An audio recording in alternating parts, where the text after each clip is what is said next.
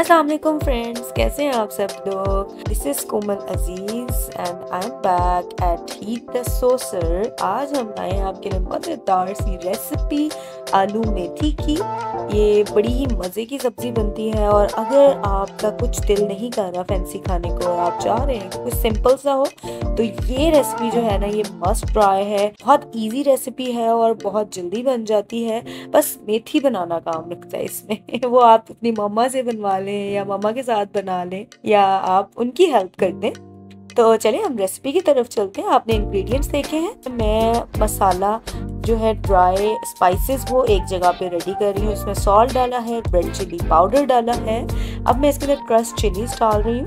Crust chillies के साथ ही मैं इसके अंदर ब्लैक पेपर पाउडर ऐड करूँगी। अब मैं इसके अंदर कुटा हुआ, पिसा हुआ धनिया होता है वो डाल रही हूँ। इंग्रेडिएंट्स की जो क्वांटिटी है वो आपको इंग्रेडिएंट्स कार्ड में मिल जाएगी। अब मैंने इसके अंदर डाला है जी गरम मसाला पाउडर यहाँ पे आप देख सकते हैं, मैं साबुत मसाले हैं, वो रेडी कर रही हूँ। साबुत मसाले में कड़ी पत्ता डाला है, दो सिनेमन स्टिक्स हैं और बड़ी इलायची है, चंद साबुत काली मिर्च, जीरा डाला है मैंने इसके अंदर। अब मैं इसके अंदर क्लोव्स डाल रही हूँ, जो कि लौंग होती है। चले जी, अब हम रेसिपी बनाने की तरफ़ चलते हैं। पैन में मैंने एक कप ऑयल का डाला है। इसके अंदर मैं डाइस्ड अनियंस डाल रही हूँ। अनियन डाल के मैं इसे थोड़ा सा सोटे करूँगी। सोटे करने के बाद मैं इसको सोटे करूँगी कलर चेंज नहीं करूँगी। मैं इसे जस्ट ट्रांसलूसेंट सा करूँगी। और अब ये सोटे हो चुका है। इसके अंदर मैं डालने जा रही हूँ जी हमारे जो आ, खड़े मसाले थे जिसमें कड़ी पत्ता काली मिर्च है ज़ीरा है लौंग है और काली इलायची है और हमारे पास दालचीनी। उसे हम भूनेंगे। इस वक्त भूनने से होगा ये कि जो खड़े मसाले की खुशबू है ना, वो अच्छे से आ जाएगी और टेस्ट भी आ जाएगा। अब हम इसके अंदर लहसुन, अदरक का पेस्ट डाल रहे हैं जिंजर गार्लिक पेस्ट भूनूँगी मैं इसे इतना कि ये जो इसका कच्चापन है, वो थोड़ा सा ख़त्म हो जाए। एक से दो मिनट के लिए भूनूँगी, चम्मच चलाती रहूँगी, चम्मच चलाते रहना है आपने भी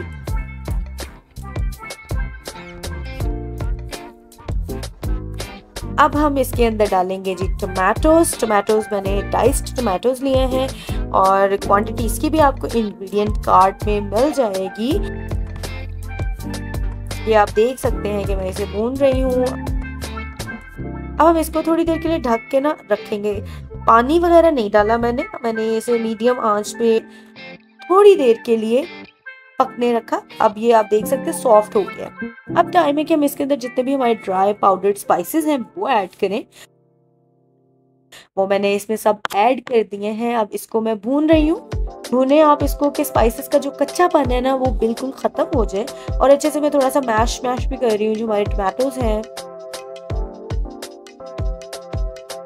अब हम इसके अंदर पानी ऐड कर रहे हैं। पानी मैं डाल रही हूँ ताकि जो मसाला अच्छे से ये यकजा हो जाए और थोड़ा सा गल भी जाए। इसको अब मैं थोड़ी देर ढक के पकाऊँगी, कोई पाँच से आठ मिनट के लिए। इसे भूनूँगी मैं। मैं भूनती हूँ चीज़ को, मुझे पसंद है क्योंकि मेरी मामा का स्टाइल है, वो चीज़ को बड़े अच्छे से भूनती हैं और मैंने मसाला यहाँ पे बहुत अच्छे से भूना है और भूनने के बाद मैं इसके अंदर डाल रही हूँ जी मेथी। मेथी हम पहले इसलिए डालेंगे क्योंकि मेथी जो होती है वो कड़वी होती है। हमने इसे मेथी को डाल के भूनना है ताकि इसकी कड़वाहट ख़त्म हो जाए और ये अच्छे से गल जाए। आलू समटाइम्स कुछ लोग पहले डाल देते हैं, बाद में मेथी डालते हैं, गला के तो होता ही है कि मेथी गलती नहीं है। आलू गल जाते हैं, आलू मैश होने लग जाते हैं, वो ज़्यादा सोगी हो जाते हैं। तो इसलिए आप इस तरह ट्राई करके देखें बहुत अच्छी बनती है। मेथी बिल्कुल कड़वी नहीं लगती और बड़ा अच्छा ये आपका सालन तैयार होगा। मेथी जो थी मैंने एक दिन पहले ही बना के फ्रीज कर ली थी तो इसलिए थोड़ी सी वो फ्रोज़न है तो मैं उसको अच्छे से चम्मच चला के ज़रा मैं उसको तोड़ रही हूँ ताकि वो यकजा हो जाए और मसाले के साथ मिल जाए, मसाले के साथ घुल जाएगी। इसीलिए मैं इसके अंदर चम्मच चलाती जा रही हूँ। अब मैं इसके अंदर चम्मच चलाऊँगी कुछ दो से तीन मिनट के लिए और फिर मैंने इसके अंदर डाला पानी। एक कप पानी डाला। पानी डाल के इसे ढक के मैंने कोई दस मिनट के लिए पकाया है। अब मैंने इसका ढक्कन उठाया है और मैं इसको, ये मज़ीद यहाँ पे भूनूँगी। इसका पानी जो है खुश्क हो चुका है। इसे हमने कोई दो से तीन मिनट के लिए भूनना है और इसके अंदर आलू ऐड कर देने हैं। आलू इसके अंदर डाल के चम्मच चलाना है।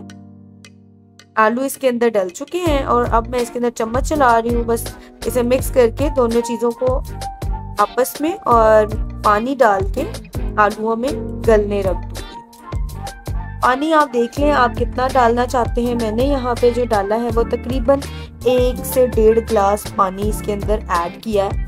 डेढ़ गिलास तक मैंने इसके अंदर पानी ऐड कर दिया, लेकिन आप चेक कर लें, पहले एक गिलास डाल लें। अगर आपके आलू जल्दी गल जाए तो आपने आधा गिलास पानी नहीं डालना है। बीच में आपने चेक कर लेना कि गले हैं या नहीं। इसे गलाया मैंने कोई पाँच से दस मिनट के लिए। जैसे मेरे आलू चेक किए, मैंने गल गए हैं। मैंने इसको बिल्कुल पानी भी सूख चुका है। जैसे ही आपके आलू गल जाए, आप एक बार चेक कर लें।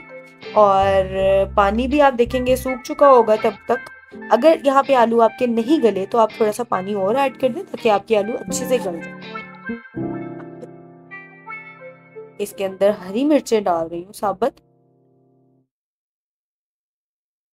हरी मिर्चें डालने के बाद मैं थोड़ी देर इसे भून रही हूँ ताकि भूनेंगे जितना, उतना अच्छा इसका जायका निकलेगा। भूनने के बाद ये भून भी गया है मैंने दो मिनट इसे, इस तरह भी पकाया है चूल्हे पे। अब मैं इसके ऊपर डाल रही हूँ जी गरम मसाला पाउडर। थोड़ा सा अच्छी खुशबू आएगी इससे बहुत ही, क्योंकि हम इसे दम पे रखेंगे।